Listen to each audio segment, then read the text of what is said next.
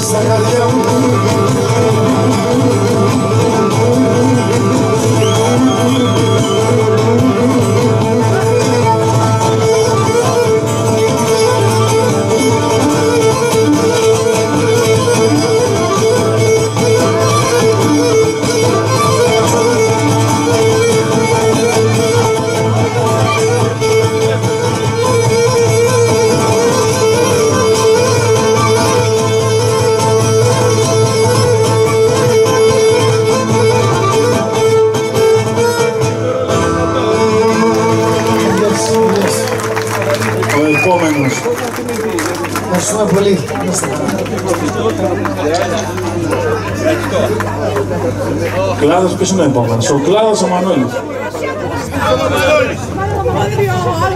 Και μετά υπάρχει κι άλλος. Ο Ευτύχης.